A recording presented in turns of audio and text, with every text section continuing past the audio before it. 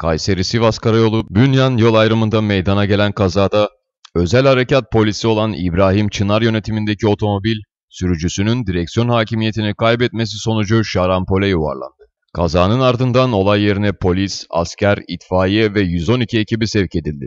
İtfaiye ekipleri tarafından sıkıştıkları yerden çıkartılan uzman onbaşı, MCK ve TT, sağlık ekipleri tarafından eğitim ve araştırma hastanesine kaldırılarak tedavi altına alındı. Sağlık ekipleri özel harekat polisi İbrahim Çınar'ın olay yerinde şehit olduğunu belirledi. Kazanın ardından polis ve jandarma ekipleri olay yerinde incelemelerde bulundu. Yapılan incelemenin ardından şehit polisin naaşı hastane morguna kaldırıldı. Kaza ile ilgili soruşturma sürüyor.